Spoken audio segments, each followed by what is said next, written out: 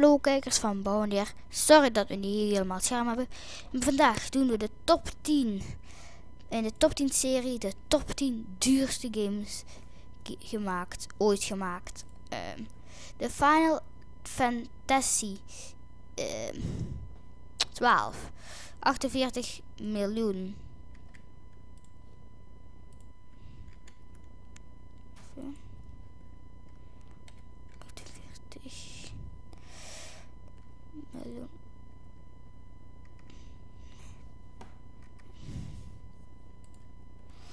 En dat is dus zoveel euro. Oké. Dan, volgende. La Noire. Ken ik niet. Voor, ja, 50 miljoen dollar. Heel wat dus. De eerste vier Rockstar games in de lijst van La Noire uit 2011. Deze Noir, Noir crime game die, die zich afspeelt in het Los Angeles van 1947. En waarbij de waarbij jij de leiding heeft overlapt, ah, had een budget van 50 miljoen. In de vorige twaalfde titel uit van Final Fantasy serie 2006 kostte 48 miljoen om te ontwikkelen. Daarnaast was er ook een gigantisch markt, markt, marketingbudget. Dus het gaat over het geld dat is uitgegeven om het spel te kunnen maken. Dan over Han Hallo 3. 55 miljoen dollar om dat te maken. Je zult een ondertitel of zo hebben uh, je zult iets hebben daar, daar in beeld hoeveel dat, dat dan is, echt is. Dus de vorige ding nog niet, maar dat ga ik nog even editen. Um, de Halo-serie was zo succesvol in de, voor gameontwikkelaars, Bungie en uitgever Microsoft, dat er bijna een on, ongelimiteerd budget was voor de derde game in de reeks. In totaal kostte het ontwikkelen van, game, van de game 55 miljoen dollar en Microsoft schijnt er ook 200, 200 miljoen dollar te hebben uitgegeven aan de marketing. Dat is fucking veel. 200.000 miljoen dollar. Metal Gear Solid 4 Guns of the Pat Patriots 60 miljoen. Veel. Het, het nam ruim vier jaar in beslag om Metal Gear Solid 4 te maken. Het leverde dan ook uren aan prachtige cutscenes op. In totaal waren er 60 miljoen uitgegeven 60 miljoen dollar uitgeven aan de game. Dat is fucking veel. Human 65 miljoen dollar. De game To Human uit 2008 ging volledig over budget.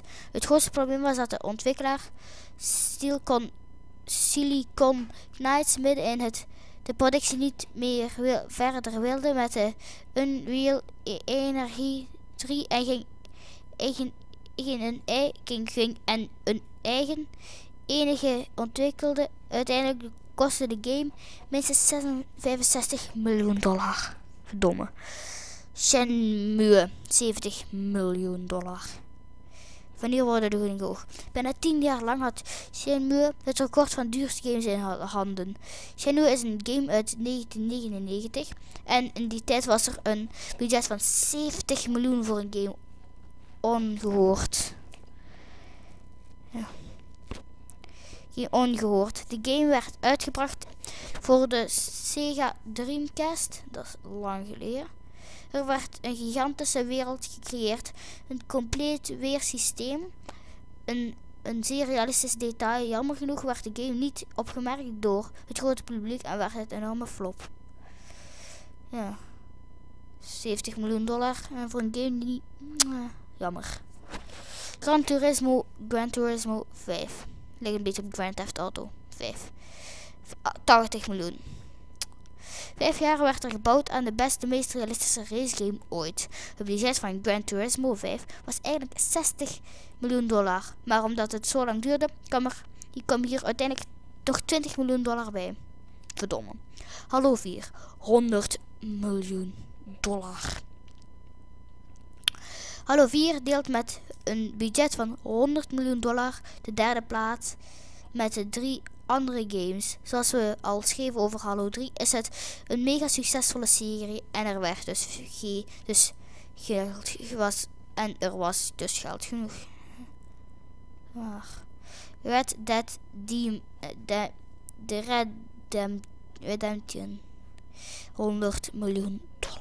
Godverdomme, wie betaalt het voor een game? Weet, de mensen is aan dezelfde makers als GTA, Rockstar Games. En ook hier werd een gigantische bak geld tegenaan gegooid. Ja, dat wel door. Grand Theft Auto 4. 100 miljoen dollar. Dat is 100% waar.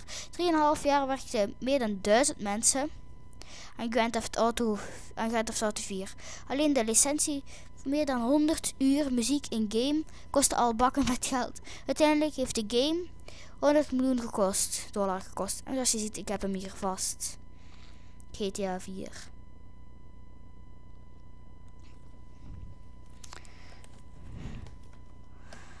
Oké, zijn nog bij de... Oké. Grand Theft Auto 5. 137 miljoen. Kan 100% kloppen. Een lang verwachte nieuw deel van Grand Theft Auto ligt op 17 september in de winkels. Zie hier, die van 2013. Voor het nieuwe deel hebben ze nog geld te besteden. 137, 137 miljoen in totaal. Maar ook dit bezet zal voor de GTA weer dubbel en dwars worden terugverdiend. En dan heb ik het over Grand Theft Auto 5. Zoals je ziet, ik heb hem ook, Grand Theft Auto 5 pak mijn ding geen gezicht dingen, anders zal je gewoon weer scherp stellen op deze gezichten. Maar je moet op mijn gezicht scherp stellen. Dus ja. En dan Star Wars The Old Republic. 200 miljoen dollar. En dat wel fucking veel zin. De M R M RPG, MMORPG, de Star Wars Old Republic uit 2011, is het duurste game ooit gemaakt. Het budget was 200 miljoen. Binnen een maand had de game 1 miljoen gebruikers, waardoor de face, door, het fast, fastest MMO ever was. Uh, echter, het al snel kwam, nam het aantal spelers weer af. Momenteel kan het spel gratis worden. Kan, het, kan het spel gratis gespeeld worden. En is een abonnement slechts een optie. Bedomme. Het zoveel gaat uitgespeeld aan een... Ik kan het geloven jongens. Ik kan het niet geloven. Alleszins, later en bedankt voor het kijken naar deze top 10 series. Later.